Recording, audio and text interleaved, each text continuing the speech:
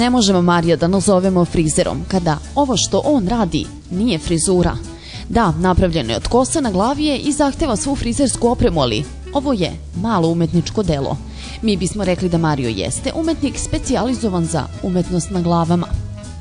Prvo, e, ja prvo na svesku prenesem ideju i radim nekoliko, ovaj, kako se zove, frizura nadograđujem, kako se zove, gledam jednostavno da nadogradim nedostatke za sam oblik, tu vizualizaciju frizura. E, kako se zove, zatim e, ovaj, kako se zove, da, onda dođemo u salon i uzmem sunđer, komad sunđera i onda oblikujem sa, kako se zove, bukvalno stvaram sa žiletom, pravim oblik skulpture na koju posle nanosim kosu.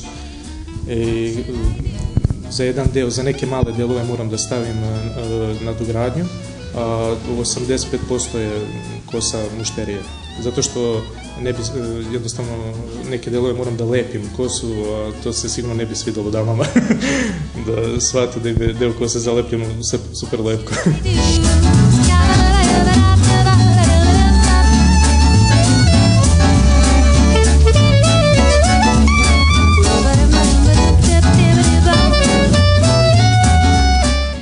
Kako teče Marijov kreativni proces. Kako od jedne obične, kako ženske, tako i muške frizure nastane ovaj neobični, upatljivi i redko viđeni friz.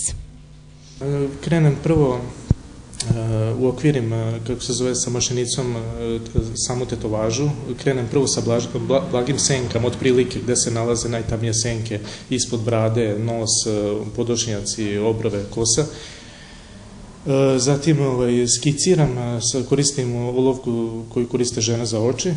Ona je dosta masna i mekana, ima i prednost imana, zato što ovaj, zna da otpadne. Zatim definiciju linije radim sa britvom, senku radim sa makazama i to je to.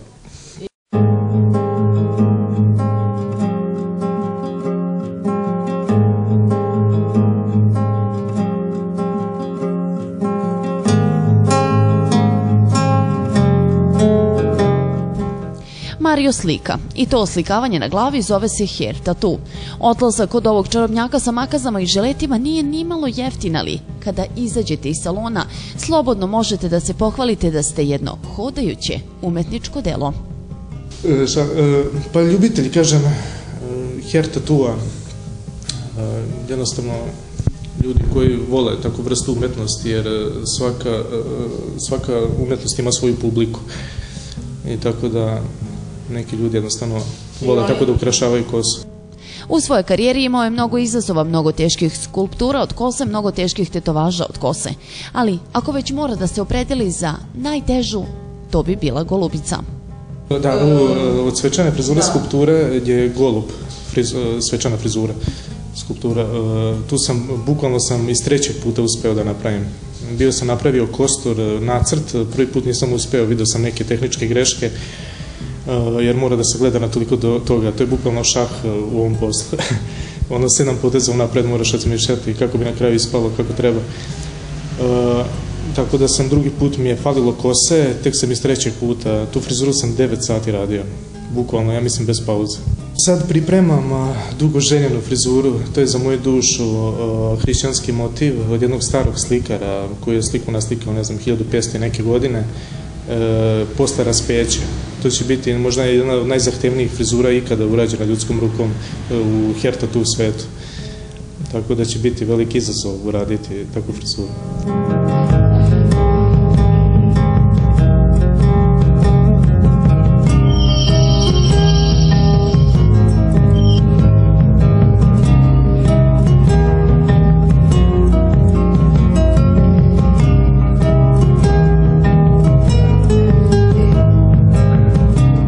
Da 2009. godine nije doneo dobru odluku da nastavi da se bavi ovom umetnošću, danas Novi Sad ne bi imao frizera oko čije grada se diže velika prašina.